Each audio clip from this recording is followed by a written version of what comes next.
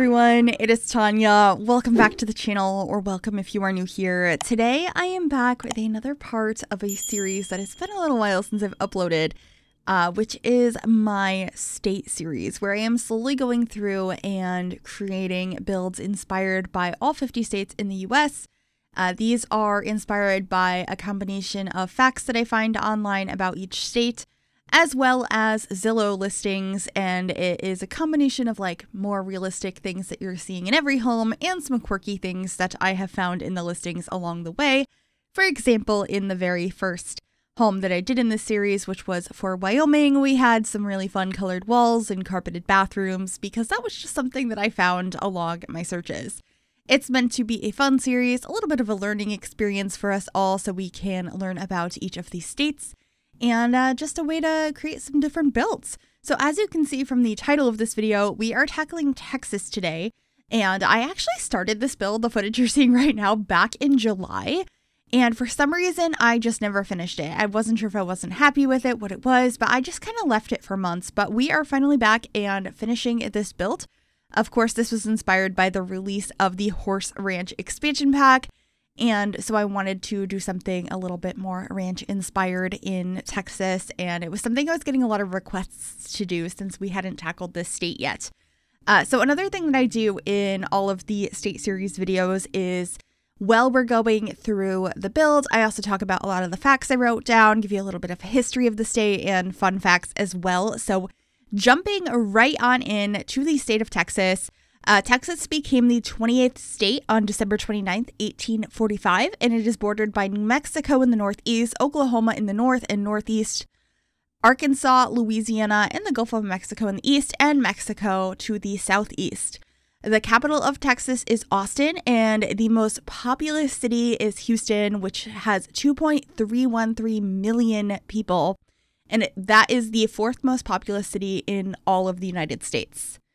Uh, with that, Texas is the second largest state in the U.S., followed like it's right behind Alaska. Alaska is the largest, but Texas does have the second highest population in the country with 29.9 million residents, and it is second only to California. And to really kind of draw in and explain how large Texas actually is, it is larger than Italy, the UK, and Greece combined. And with how large the state of Texas was, I wasn't able to capture literally everything that is that state in this one build.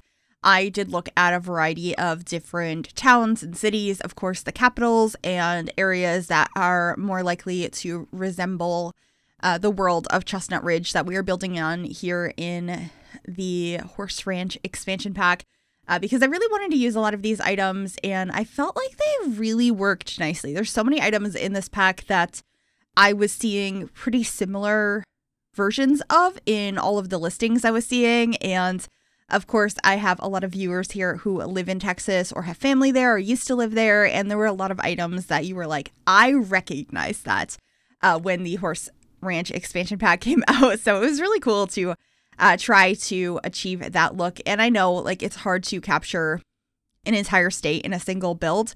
Uh, it's just being inspired by the states, and that's what it's been this whole time. And I've been having a lot of fun with it over the years. It's just I get a little overwhelmed by this series sometimes. I'm always worried that I'm going to get something wrong. Uh, there's a lot of research that goes into it, so that's why there aren't as many uploads that often of this. Although I'm trying to get some more of these out by the end of the year because I think that would be a lot of fun. Kind of power through maybe like one a week, maybe we shall see. Uh, so leave any suggestions down below of which states you would like to see next. I will also have the playlist down below if you'd like to check out and see which states we have already done because there's quite a few of them now. Uh, we're not even halfway there, but there's still quite a few that we have done. Uh, but jumping back into some facts about Texas because I have so much here. Um, the nickname for the state is the Lone Star State. And that's because in 1836, when the Republic of Texas declared itself as an independent nation, it flew a flag with a single star on it. Uh, and then, kind of getting into the history of like how Texas became a state here and like how it's kind of changed its, uh, I guess, ownership, sort of. Uh, so in 1821, Mexico took control of the land, eventually calling the area Coahuila y Texas or Tejas.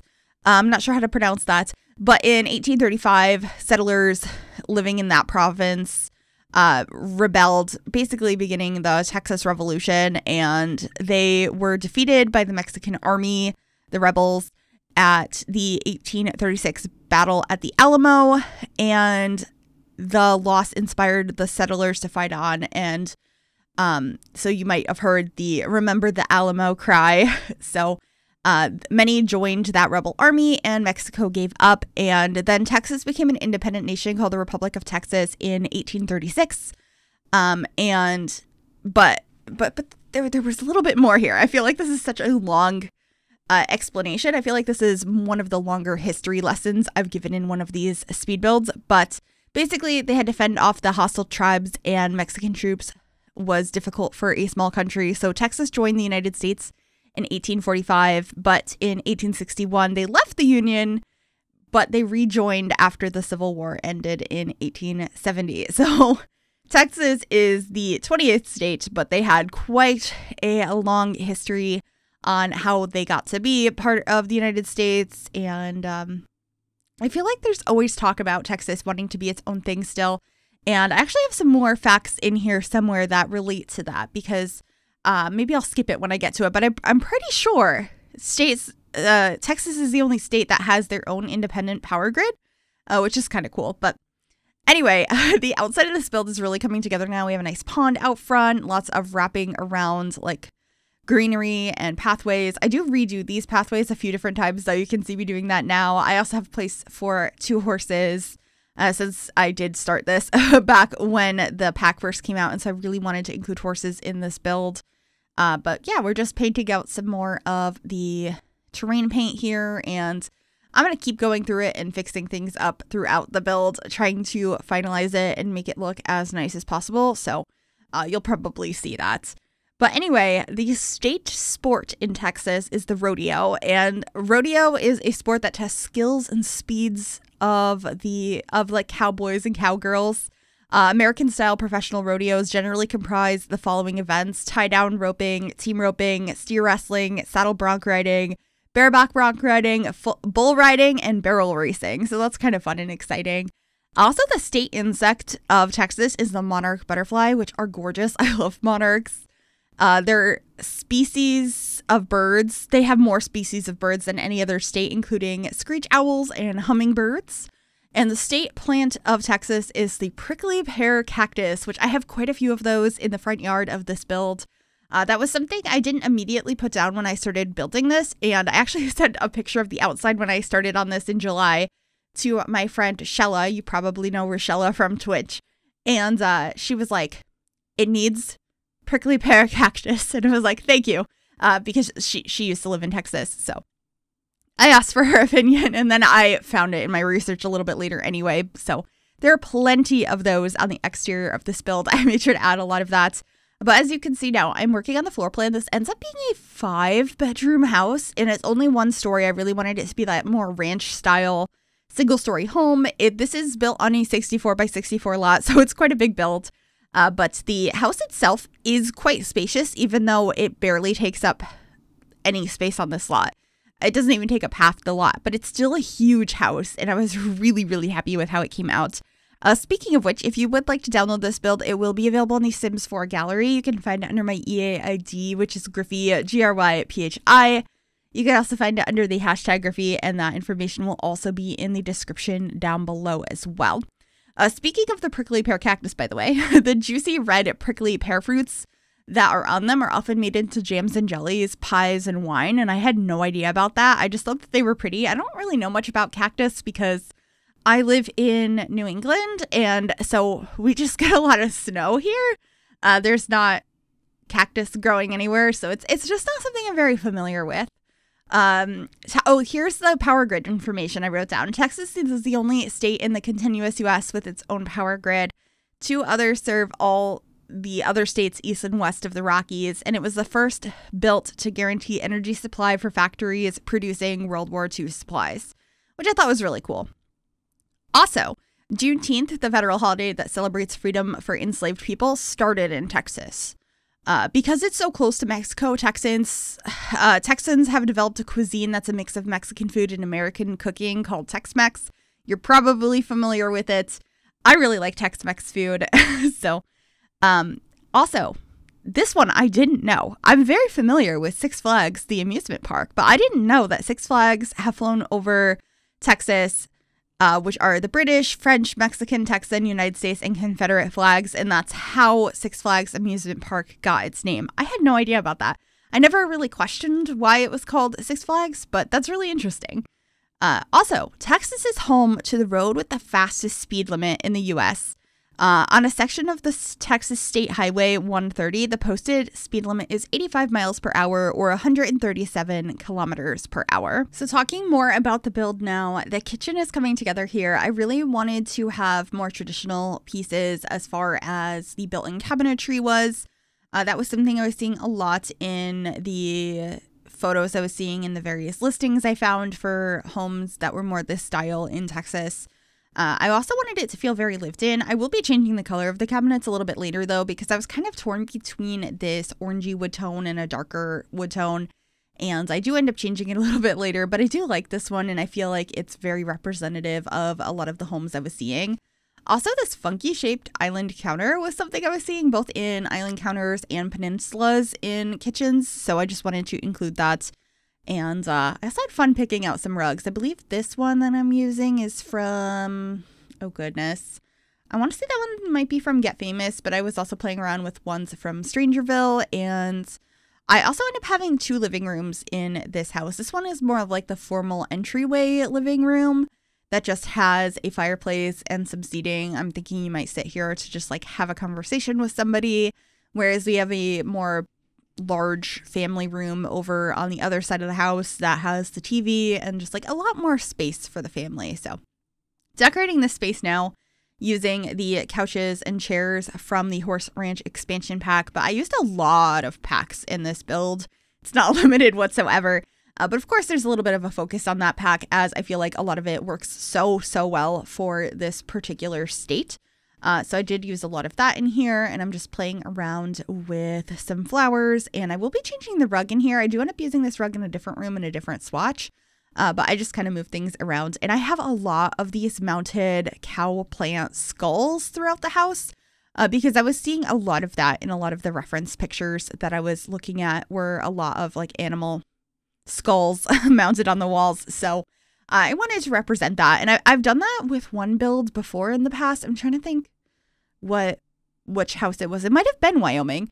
Uh, but we didn't have these yet, and so I don't remember what I used. I think it was like just mounted fish that I used as a stand-in for that. But now that we have these with the horse ranch pack, I think they are so perfect. And I just wanted a bunch of clutter up here on the mantle, so just getting all sorts of stuff there, trying to make it feel lived in and like there's a lot of character in this space. And then over here by the front door, I wanted to make sure we had a space that looked like you could like store clothes or coats and things like that. Not that you're wearing too many coats in Texas. I don't think it gets too terribly cold there in the wintertime. I'm sure compared to the rest of the year, it gets a little bit cooler, but probably not too um too cool. And then I got like a little dresser and a chair over here. I just wanted like a space for you to put your shoes on before you headed out. And over on the other side of the door, there ends up being a uh, shoe rack that has cowboy boots on it, which I thought was perfect. That's just a base game item, and I feel like I used the ones from the uh oh my goodness dream home decorator more often now like the single pairs of shoes but the base game one has cowboy boots so i thought it was only fitting that i did that and then this dresser just has like some clutter that looks like the entryway items you would expect and uh, we should be grabbing, yeah, temperature controls in our fire alarm now, just putting those over here. Nice little rug by the front door. And here's those cowboy boots I had mentioned. I also have a place to hang up a hat and other materials before you go outside. We have a side door that connects you to sort of a garage space. And then this is going to be the family room. And this is where I switched the rugs because I thought this one would look so much better in that entryway. It's so pretty. I love the colors. I used it throughout this house. It's actually a lot of reds and greens, which is interesting because I feel like I've just been so drawn to that color scheme lately, even though it's more of a Christmassy color scheme, but I've been enjoying using it in a way that doesn't feel Christmassy. And you can let me know if I achieved that in this build. I think I did, but Of course, I'm open to what you think, and I'm always very curious about that. I'm always nervous about these state builds. Did I do it justice? Please, please let me know. Uh, but be gentle if I didn't do a good job. I'm always so nervous. Anyway, let's get back to some more facts because I have quite a few still written down, and sometimes I forget to talk about the facts, and then I've done the entire voiceover, and then I have to redo it because I forgot to tell you the things I wrote down, which is a huge portion of these videos. Uh, so, Texas is home to two national parks the Big Bend National Park, named after a famous bend in the Rio Grande along the US Mexico border, and the Guadalupe Mountains National Park uh, named after the highest peak in Texas. Uh, they are two of the top natural places to visit in Texas. Also, Texas has played a large role in space ex- exploration. NASA's Lyndon B. Johnson Space Center is the training grounds for many astronauts, while the Associated, Associated Space Center Houston is one of the country's best space museums. Uh, and with that, the popular phrase, Houston, we have a problem, originated in a radio communication between the Apollo 13 and the control center in Houston, Texas. Uh, also, Bugs Bunny, Bugs Bunny's famous phrase, What's up, Doc? Uh, originated in Texas. Looney Tunes animator Tex Avery, who introduced it, said it was a commonly heard phrase when he was growing up in Texas. Uh, also, the Texas State Capitol building in Austin is the largest state capitol building in the US. It was one of the largest buildings in the world when it was first constructed. Uh, also, more things. I have so many random facts. Not all of these are related. Uh, at the Cadillac Ranch Public Art Installation in Amarillo, Texas, uh, there are 10 art covered Cadillacs buried, a- half buried in the ground. The site inspired Bruce Springsteen's song of the same name. Uh, Amarillo also has the world's largest helium supply and has been called the helium capital of the world. Although Texas is often associated with the deserts of the southwestern US, only about 10% of the state is covered in desert. So this build kind of focuses on the more deserty aspects. Obviously, there's a lot of green involved in this area as well. I feel like Chestnut Ridge was kind of like the perfect area for me to build our Texas build. I feel like there were a couple other states that I already built that were way before this pack came out that would have been nice to build here as well, but unfortunately they are already done. Uh, but if you have any other ideas for states that would be good in Chestnut Ridge or any specific worlds in general, if you're like, this state needs to be in this world, I understand. Uh, I would love to hear those suggestions because I'm, I'm familiar with like some of them that would have to be in certain worlds, but other ones, it's just going to be based on me researching it because I haven't been to that many states. Um, anyway, uh, Texas also has more tornadoes than any other state with 132 per year on average. That is wild to me. I have never experienced a tornado, and that sounds really scary. If you live in an area that gets tornadoes, uh, is that something that just seems normal to you, or is it really scary? I, I would really like to know that. Uh, traditionally, Texas dominated the cattle industry, but in recent years, in recent centuries, the economy has shifted to have more of a focus on petroleum, tourism, aerospace, and high tech industry. Finishing up the kitchen now, I added this little coffee bar area, which has space for your coffee maker. There's also some various like other things to make coffee with. Hanging up above that, I think we have like a French press and a couple of other things. I also have some cookbooks, some mugs. I just thought this was a cute little spot to add that. And of course, getting some postcards hanging up above this area. And we have lots of paintings over here as well. I kind of bounced back and forth in this build as I got more ideas for other areas uh, through more research or more pictures that I was finding. So that is why we're kind of bouncing around. But working on the first bathroom here, which I believe is the ensuite to the primary bedroom. So we have a shower tub combo in here, sinks, all of that. I'm using like the same tiles that we're using in the kitchen. And these mirrors, I've just been really liking these lately. They are from Growing Together and I've been using them in a lot of my builds. They're just so beautiful and I think that they looked really nice here. So that's what I opted to use. I also got this nice like little linen closet piece that has towels and toilet paper and all of that in it. It is from Horse Ranch as well, so of course it matches this build very well. Uh, and then I just got a plant and some extra toilet paper on top of the toilet there. And I'm trying to remember what else I hang up in here. I think just this little painting of some sunflowers and a towel by the sink. And uh, that should be pretty much it for this bathroom. I didn't overly decorate it. I just got like a couple of things on the sink, like toothbrushes and uh, soap since this is, you know, a bathroom I imagine that the parents of this household are probably regularly getting ready in. And then we're going to work on the primary bedroom. So I wasn't sure what color scheme I was going to go for at first. I really wanted to use the red rug, which didn't work out in the end. I ended up going with the uh, same pattern, but in this beige swatch. And I brought in another one of those cowplant skulls, and I also have mirrors on either side of the bed. And I just think it looks so cozy in here. I also used this base game love seat, which I think is perfect for this home. Uh, and then I'm just grabbing a bunch of clutter items that I want to have on either bedside table to really make the space look lived in. I like to have more than just lamps on them. Also, like, not everyone has bedside table lamps, but I tend to always add them in my builds, and I'm not sure why that is. I have one now, but I almost never use it, but for years I didn't have one. so I guess that's my question of the day. Do you have a bedside table lamp? And do you always put them in your Sims builds? Because I, I'm just curious. Like, is that something I should consider more in my builds? Because I, I pretty much always add them. It just feels like the thing I'm supposed to put on the bedside table. Uh, but anyway, I got lots of storage in here. We have a couple of closets, actually, three closets.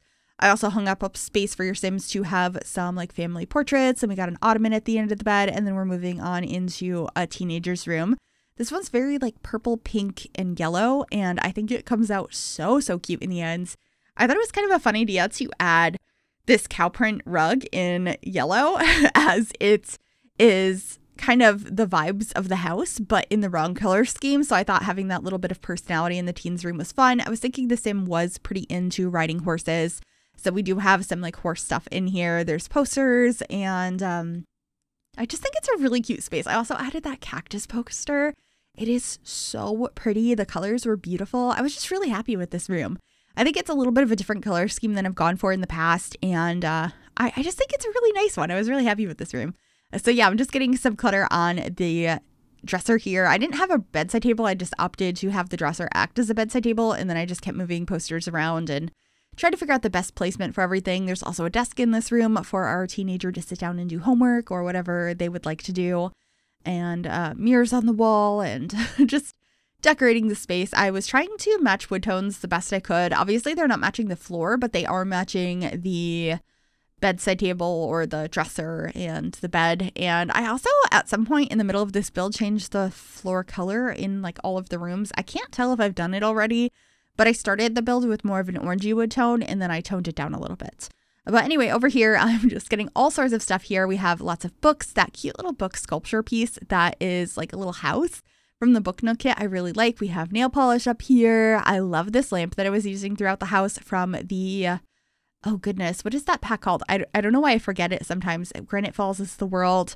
Uh, outdoor Retreat. I thought that that was really nice. And I also liked the idea of this home having quite a few family members in it. So I made a room for grandma or just grandparents in general. And it's just so cozy, this quilted bedspread.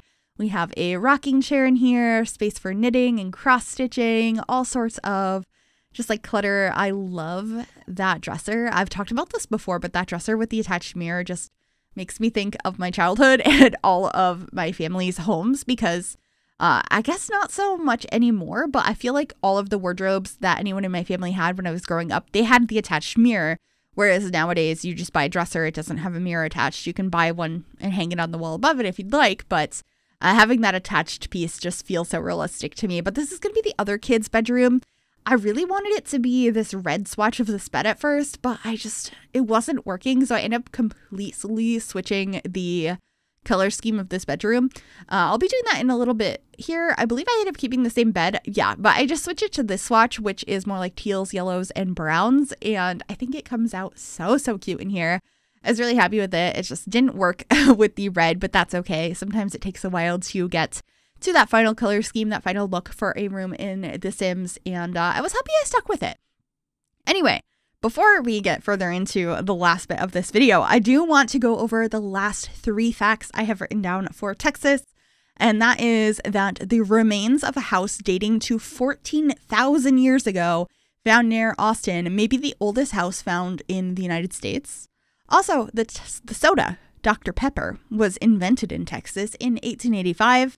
And finally, the first frozen margarita machine was invented in Dallas, Texas, and was inspired by the Slurpee machines at 7 Eleven.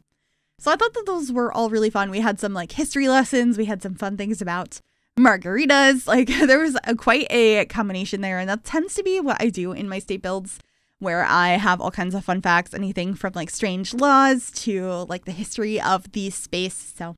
Uh, things you would like to see in future states, if there are certain facts you think are important or fun things to go over, where we should build it, what state we should do next. Leave all of that in the comments. I would totally like to hear it uh, because I'm excited to be bringing this back. I never like intend to stop it. Like I said, it's all when I'm feeling inspired and not too overwhelmed by the idea of it because uh, these are pretty in-depth builds. And as you can see by the length of this video, if you're still watching, uh, they're they're pretty long voiceovers and the whole thing is just it's a lot, but it's so cool. And I, I really love how most of these come out. So I hope you're enjoying this. If you're still watching this at this point, let's have you. Uh, can you comment Pop Tarts in the comments? Just Pop Tarts. Has nothing to do with the rest of the video, but you know, then I will know you are still listening at this point.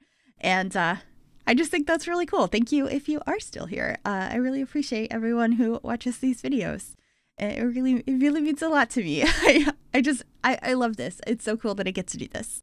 Uh, but anyway, this is the final bedroom. It's kind of like a spare bedroom mixed with an office space. So I have a desk over here so your Sims can work on the computer. I also really like this rug. It's from Horse Ranch as well. I used a lot of that in this build. But it's so pretty. There's so many nice swatches. I feel like the rugs we've gotten with the last few packs have been really nice.